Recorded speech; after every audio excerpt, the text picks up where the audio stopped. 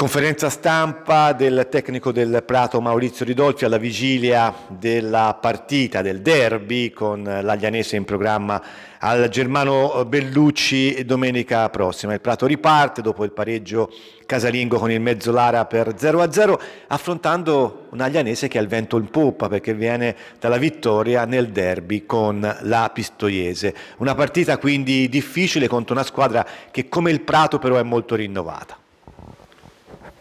Sì, andiamo ad affrontare una squadra che sta attraversando un momento importante perché vengano da tre vittorie di fila senza subire reti e l'ultima addirittura nel derby a Pistoia. Quindi sappiamo le problematiche che ci possano essere dentro la partita, però sicuramente avranno dei punti deboli anche loro, cercheremo di sfruttarli anche perché i ragazzi stanno diciamo tutti bene, si stanno allenando bene quindi sono convinto che andremo a fare una bella partita ad Agliana con la convinzione giusta di portare a casa un risultato importante. Rispetto alla partita con il Mezzolara, le notizie positive arrivano dall'infermeria perché abbiamo visto che in settimana si sono nuovamente allenati con il gruppo giocatori come Gori, come Bigonzoni, come Sant'Arpia. È vero che manca lo squalificato Angeli, però torna a disposizione Monticone e allora l'unico assente è il capitano Cela, quindi la possibilità di scegliere su una rosa molto ampia, eh, tra l'altro rinforzata anche da due nuovi arrivi, oggi i tesseramenti di Cecchi, ex Empoli e Ceccherini, ex Arezzo, insomma l'imbarazzo della scelta. Sì, in confronto a domenica, a domenica scorsa c'è l'imbarazzo della scelta. I tre attaccanti diciamo, si sono recuperati, anche se no al 100%, ma insomma fanno parte del gruppo che andrà ad Agliana. E Monticone sostituirà Angeli, ora vediamo come lo schieramento che faremo, però insomma in confronto a domenica scorsa ho più varianti a disposizione, vediamo che modulo si sceglie, però dai, le idee sono abbastanza chiare. L'Aglianese come vuole Baiano approccerà alla gara molto aggressiva, una squadra che pressa alta, una squadra che cerca anche la, la profondità. Hai delle contromosse già pronte? Ma ora vediamo le contromosse, sì, l'idea delle contromosse ci sono. Abbiamo visto la partita dell'Aglianese sia a Pistoia che con Limolese.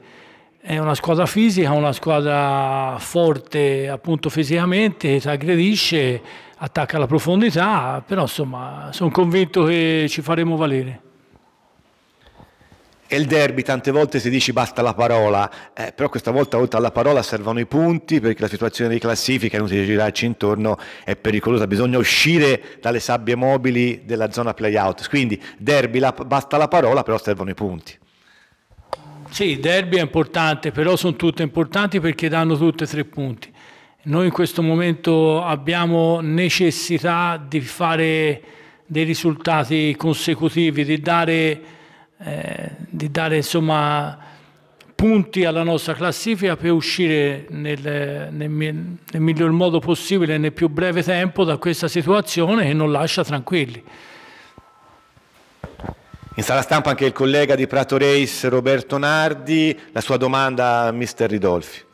Allora, domenica scorsa dopo la partita appunto parlavamo di un Prato che era mancato soprattutto in fase offensiva. Ora recuperi diversi giocatori diciamo, nel reparto offensivo, quindi probabilmente vedremo un Prato diverso nel settore offensivo. Innanzitutto spero di vedere un Prato diverso nel senso che si fa gol, perché l'altra settimana in pratica è vero è finita 0-0, c'è stato tanto disfattismo, però poi alla fine io ho rivisto la partita, è stata dominata, siamo mancati veramente soltanto ne, nelle conclusioni. Abbiamo lavorato una settimana appunto su, sul reparto offensivo, recuperiamo dei giocatori importanti, quindi eh, sono fiducioso che, che questa settimana italiana ci sia un reparto offensivo più concreto ci vuole più cattiveria là davanti, perché forse è quello che manca al Prato, maggior eh, possibilità di concretizzare, perché si fa un gran giro palla, si domina la gara, ma manca eh, colui che la butta dentro, il graffio vincente, quello che fa la differenza.